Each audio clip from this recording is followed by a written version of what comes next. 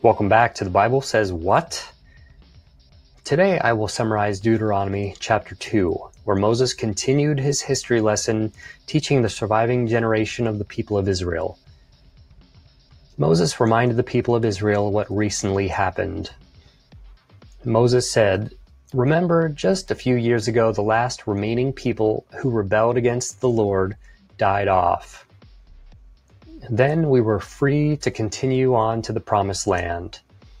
We went through the land of Esau and Lot. Remember, I told you that God has given you land, but specific land. Not all of it is yours. God has also promised land to Esau and his children, and Lot and his children. God gave me instructions on what we needed to do on our way. He told me, You will pass through the territory of your brothers, the sons of Esau, who live in Seir. They will be afraid of you. Be very careful not to provoke them. I have not given you any of their land. You will buy food and water from them and bless them when you go through. So the whole group of people went north and went through the land of Esau and bought their food and water and blessed their relatives in that land. Moses continued, Remember, after you went through that land, you came upon the wilderness of Moab. God told me that no one was permitted to harass the people of Moab, nor provoke them to war.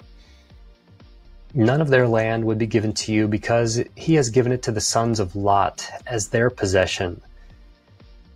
Now, at this point, Moses made a comment in the text he was writing, explaining something out of the ordinary. Moses wrote that the land they went into a couple years prior used to be filled with a group of giants called the Emim. This giant race was just as tall as the Anakim giants.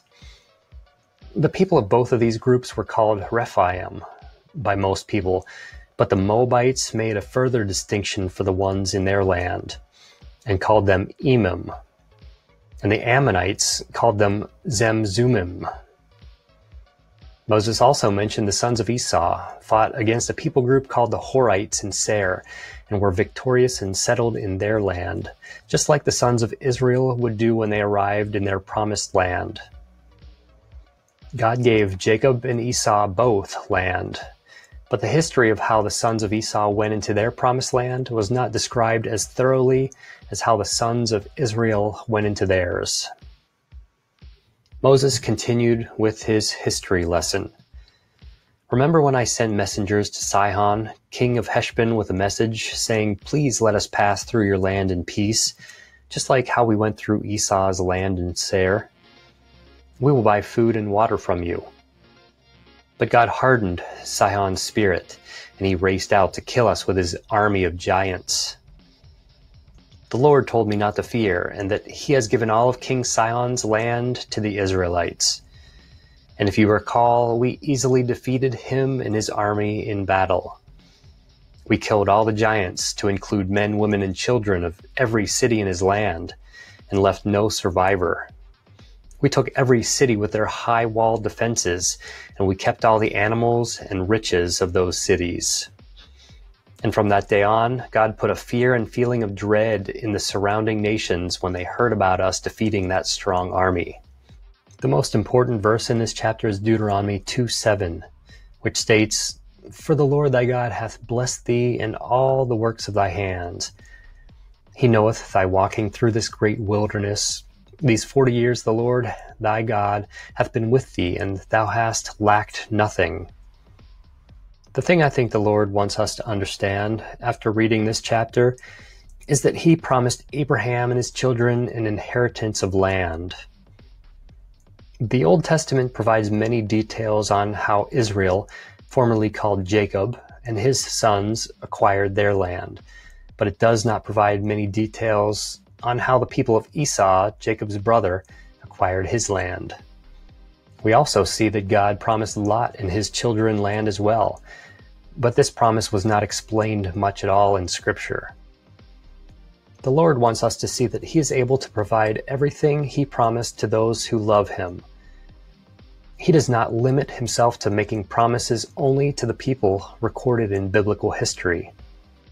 God promised Abraham and his children an inheritance, But God also gave Lot an inheritance too, and Lot was not one of Abraham's sons.